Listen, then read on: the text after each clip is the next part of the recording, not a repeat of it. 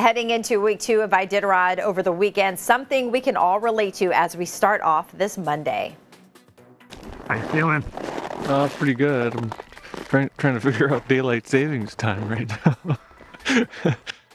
Well, here's to hoping you all set your clocks ahead one hour. That was Richie Diehl checking in, saying he was feeling pretty good and things were going well. He made his way through Shaktoolik Sunday and checked out of Koyuk early this morning.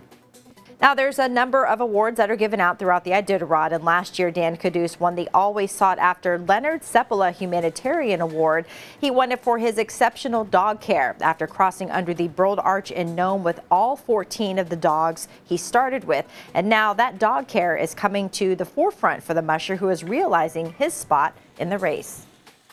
Our main problem this year was the super warm temperatures and a little bit of rough trail we had at the beginning of the race. I had these guys kind of souped up a little too hot and so they came out of the gate too hard and it took its toll. Now we're kind of on autopilot and I'm just let the front of the race go and we're just gonna take our time and cruise into Nome. And with the time change, a chance to get more daylight and, of course, see beautiful sunsets like this. Check it out.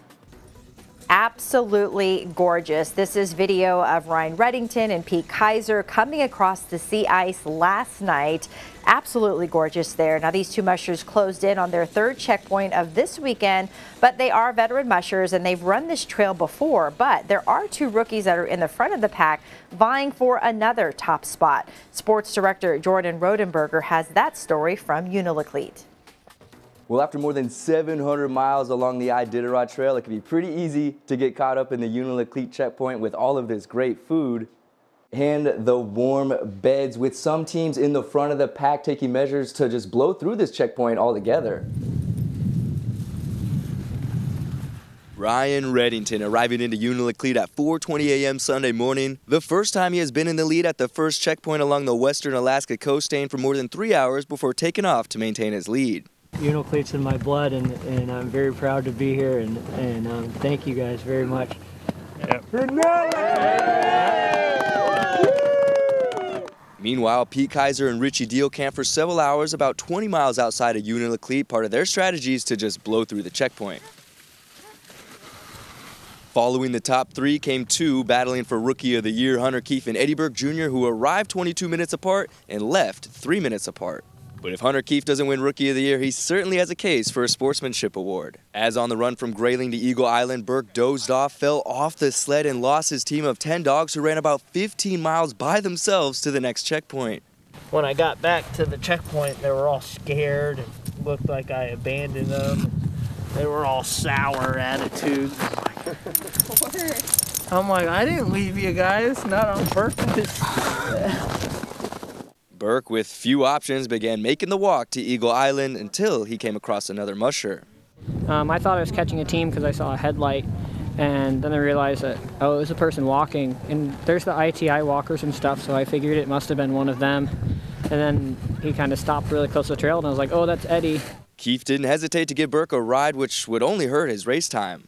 I did, didn't really think twice. I let him on because I would I wouldn't want to be walking at 20 below. But Keefe knows what his team is capable of. It really uh, showed how incredible my team was because um, he hopped on the sled, so we doubled the load. And you can ask him, not one dog ever looked back for even half a second wondering what was going on. They just um, chugged along like little freight trains they were. That was big time. It's being a true sportsman. And so, what did the rookie learn after losing his team? Well, I rigged out myself a little. Uh, I got this right here, and it snaps to another line on my sled. So if I do fall off, I ain't going too far. And now the rookie tandem, who can't seem to separate from each other, are now braving one of the toughest stretches along the Iditarod Trail.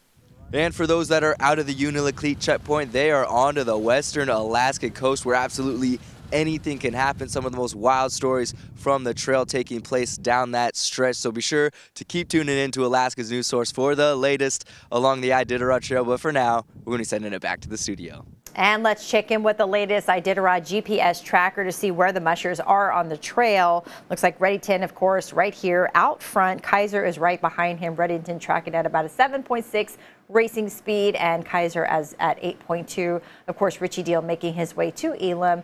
Burke resting in Koyuk, and you can see the other mushers making their way. But the big thing is here, right after Elim, you have White Mountain, and then we have safety, and then the finish is in Nome. Now, keep in mind the mushers do have to take their eight-hour rest in White Mountain, but after that, it can be anyone's game. So things should be shaping up here within the next day or so. Of course, you can keep track of the latest Iditarod News by checking out our live blog on alaskasnewssource.com. I'm Ariane Aramburo with your Iditarod update.